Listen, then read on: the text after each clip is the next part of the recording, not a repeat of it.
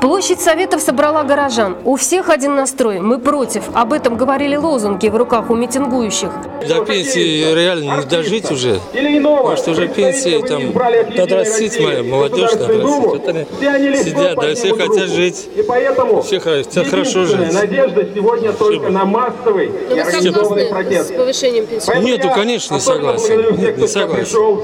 Это Я нереально просто, просто нереально. что эта акция не последняя. Не согласны. Не согласны, поэтому пришли с надеждой изменить ситуацию. Все вместе будем, конечно, что-то, я думаю, что повлияет.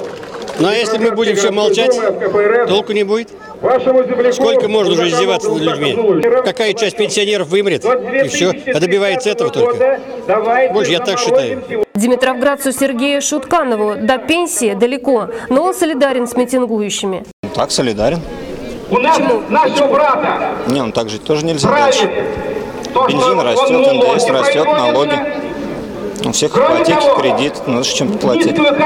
Ваше мнение, как вы считаете, такие митинги, они как-то могут стабилизировать ситуацию или вернуть ее в другую какую-то сторону? В принципе, должны повернуть, потому что народ, все равно голос народа должен прислушаться. Очередной митинг против повышения пенсионного возраста в России состоится в Димитровграде 4 июля. Инициатором его проведения выступят профсоюзы.